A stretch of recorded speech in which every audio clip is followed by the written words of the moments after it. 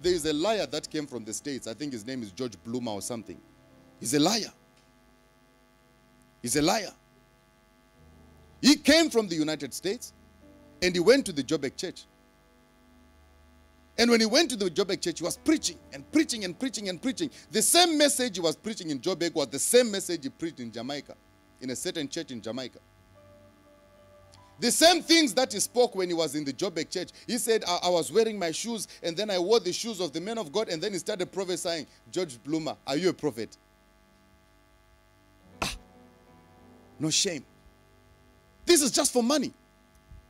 I want to question every person who's been associated with charlatans. I want to question them tonight.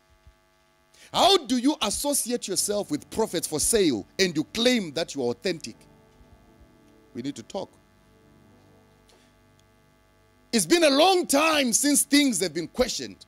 Things have been allowed to flow for a very long time without being questioned. Are you hearing this? For a long time, things have been allowed to flow and nobody is questioning them. Tonight, we, we, are, we want to question everything. There's a pastor from Nigeria, Pastor Matthew Ashmolo. Pa- Pastor Matthew Ashmolo went to Johannesburg to the resurrection pastor. He went there to that church and he endorsed him on the altar. But I know that the pastor is fake.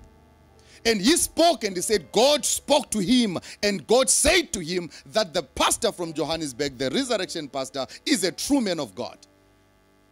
If we do not question some of these things, no one is going to question them. I begin to question the authenticity, uh, the authenticity of Pastor Matthew Ashmolo. How do you endorse a charlatan and claim that you are called by God? I know that it, it- this is not about the gospel, but this is about money. Because the envelope was too nice, the man was busy doing damage control, inviting uh, American preachers, inviting preachers from the States. They even went to a point of lying that Tyler Perry was even, uh, uh, Tyler Perry is a fan of the message, do, do, is a fan of the man of God. Uh, sorry, this charlatan from Joburg. Do you know Tyler Perry? Oh no, Tyler Perry, they even spoken to eh, Even Tyler Perry uh, from the United States is actually saying, You cannot fool us. We are Africans, but you cannot come all the way from the States to come and fool Africans here.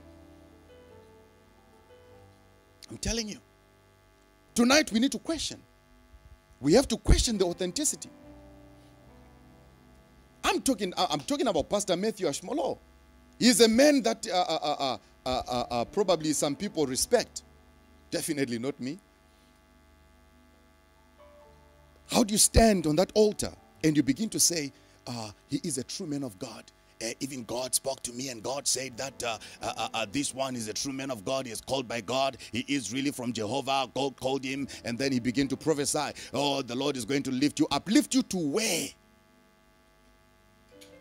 How does God lift charlatans? How does God lift jackals? This is not a man of God. This is a false prophet. This is a false teacher. So we have to conclude and say Pastor Matthew Ashmolo is not a man of God, but he's a false teacher. Because if you endorse birds of the same feather flock together. So everybody we have stood on that altar to proclaim and say, uh, we have come to say this is a man of God. Eh, eh. Listen, the, the, the, the, the, association of, of, of these uh, evil churches is very broad. It is an association that has got um, men of God who have been in the ministry for a long time. And because their authenticity and rather their their influence was dying and fading away. And then these charlatans rose up and they began to prophesy and they collected all the people. Now, because those ones who went ahead, they were losing members. Now they want to associate even with these charlatans who are prophesying in the name of Jesus, yet they are not called by God. How do you associate with a charlatan and you still expect people to respect you? That, that- that's my question that I have. That is the question I have. That's the question that I have. Huh? Are you are you are you getting what I'm saying? Another bishop also came from the states. Uh, the one who sings. What's his name? Huh?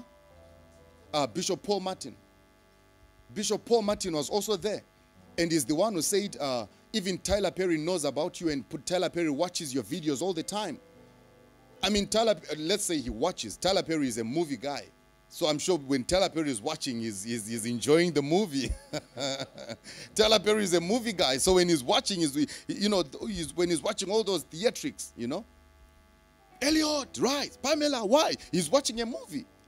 So he's not watching because uh, he's being blessed. He's, he's actually thinking of uh, uh, uh, uh how can I also come up with a, with a skit like this. These are skits. These are, these are, oh Jesus. All these bishops, they came all the way from the States. He came there, he stood on the altar. Now, oh Jesus. How do you say you are a pastor and you are a true teacher of the word of God? So, they, so we cannot just talk about false prophets and leave the false teachers out. Because right now, because the false prophets are in trouble, it is the false teachers who are coming to endorse the false prophets. That's the truth. Because the false teachers, are, the false prophets are, in, are, are now in trouble. False teachers are coming to endorse their own brothers. They know each other from their kingdom, which is the kingdom of the devil. They don't serve God, these people.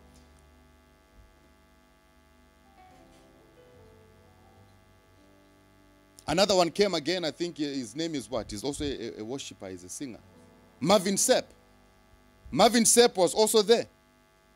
Let's talk about Marvin Sapp. huh? Let's talk about Marvin Sapp. Okay, to, to the American guys, I understand that to them is business. They are not coming even to preach. They are just coming to, that, that is why they charge money when they are coming down. Are you there?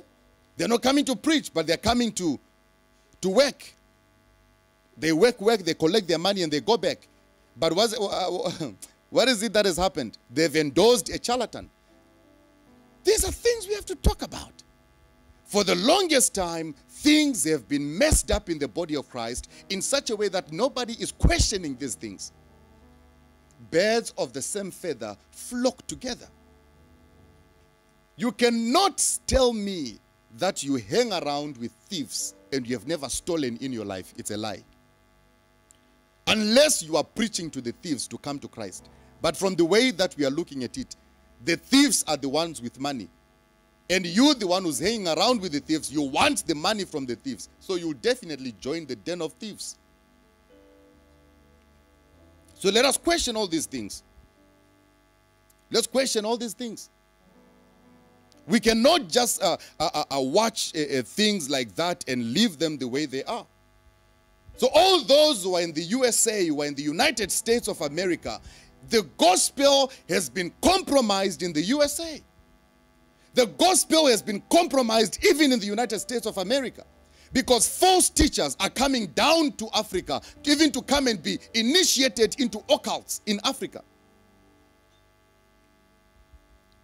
There's a prophet uh, uh, uh from, uh, a false prophet rather, from, uh, uh, from America I think his name is Brian Carn. He traveled to Africa so many times. What was happening? He was being initiated into occults.